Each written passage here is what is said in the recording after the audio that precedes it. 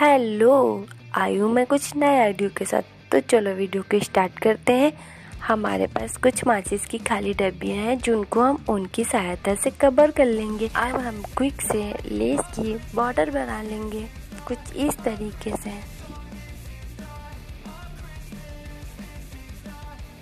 अब हम फेविकोल की सहायता से छोटा सा शीशा चिपका लेंगे। फिर फेविकोल की बॉर्डर बना के स्पार्कल को फिल कर लेंगे। कुछ इस तरीके से। हमारे पास डब्बियाँ तैयार हो गई है। अब एक एक डब्बी को एक दूसरे से चिपकाते जाएँगे। कुछ इस तरीके से। देखिए कितने सस्ते में और कितनी आसानी से हमारा वाल हैंगिंग बन के तैयार हो गया। मेरा वीडियो पसंद आए तो लाइक, सब्सक्राइब और अपनों के साथ शेयर करना ना भूलें।